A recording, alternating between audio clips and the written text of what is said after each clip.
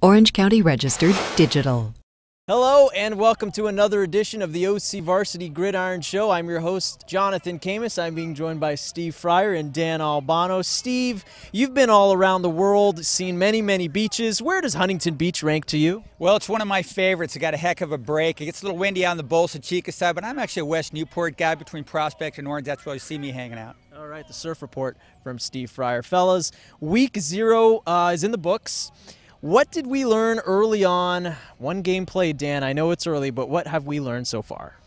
Well, I think, the biggest thing I took away from week uh, zero was, uh, you know, Mater Dei is in mid-season form. The Red Storm looked really impressive in beating uh, Centennial Corona. Um, they were spreading the wealth on offense and defense. They were flying around. They didn't make very many mistakes. So they're the new number one team in Orange County. Servite drops to number two. You know, Servite played an outstanding team. Bishop Gorman. Um, you know, Bishop Gorman's better than Centennial Corona, but I think what you know they might be better than anybody. Yeah, they're number one according to USA Today. Um, but I think you know Servite's got some things to work on, cleaning up on defense assignment and uh, and then their special teams. Okay. Um, and I think we learned El Toro's uh, you know probably worthy of top ten, and, and they made their debut. Steve, your thoughts after, I would say, a wild week zero? Well, uh, definitely what Dan was saying about El Toro. Gosh, Dan, you know, I was at that game. Uh, crazy no huddle offense uh, extravaganza by La Habra and El Toro. El Toro ran their no huddle lot better, but El Toro, you know, but they're in that tough league with Mission Viejo, which, you know, as we know, lost to. Uh, to a very good team last week. Um, Tesoro's in that league. Tesoro lost, but everybody lost to good teams who did lose last week. So it's still pretty early. Still a lot of football to be played, of course.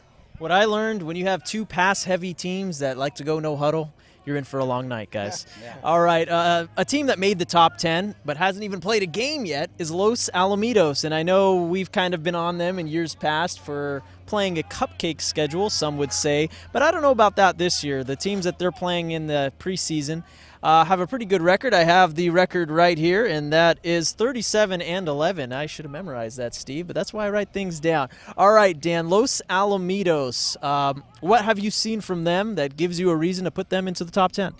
They're they're definitely worthy of the top 10 uh, preseason ranking. Um, you know, they're very athletic this year. Um, they got a lot of guys back um, from last year. That's going to be key. The the returners they have, guys like Denzel Brantley on defense, uh, playing that safety linebacker. They got a healthy uh, Matt Locker back at linebacker this year. He was out all last year. Um, and then Blake Johnson's one of the best football players, you know, overall in, in the county. Great punter, linebacker. So they're very talented. And I think they're really hungry, and I think they're the favorite in the Sunset League. Steve, are they hungry enough to finally win a postseason game? Well, it's been uh, they've had a couple uh, tough times in, in, that, but you know they're in that new uh, West Valley division. You know with the South Coast League, uh, a lot of those Inland Empire teams that are pretty good, especially uh, that the Temecula group with uh, Great Oak, Temecula Valley, and, and, that group there. It's it's a good it's a good division, but you know that that Sunset League is going to be tough. Huntington Beach guys right behind us, coming off the CF championship. Newport Harbor is always rough and ready and ready to go. And Edison, you know, Edison looked has scored 100 points over two games, so that league's good, and uh, but it's going to be fun to see what uh, Coach Barnes and Los Al have this year. Finally, gentlemen, your games of the week. Dan, I'll start with you. You know, there's a lot of good games this week. It's it's it's it's outstanding. You know, um, there's a lot of intriguing ones. I like uh, JSerra playing Chino Hills. You know, uh, Chino Hills uh, upset Hart last week of Newhall, so Chino Hills is a team on the rise. They made our our um, SoCal top 20 poll that we're doing this year. That's excellent. You know, uh, Santa Margarita against Santiago Corona a couple great quarterbacks getting together. You know, Santa Margarita's got KJ Costello, one of the you know rising juniors in Southern California. Tons of offers, and then you got uh, the senior at Corona, uh, Blake Barnett, who's uh, committed to Alabama, and he had tons of offers. So great quarterback matchup right there. See, he wasn't lying. A lot of good games. We'll talk about HB and San Clemente on the OC Varsity Gridiron Extra. But before we leave you, uh, Steve, uh, what was your pick for game of the week? Tustin Foothill, man. Always a good rivalry game. And then Tustin, yeah, I think, I think anybody paid attention to them. Then they beat a pretty decent Dana Hills team last week, so they're relevant in the conversation, and that's always fun. Foothill's always, you know, pretty good uh, football team too in that tough Crestview League.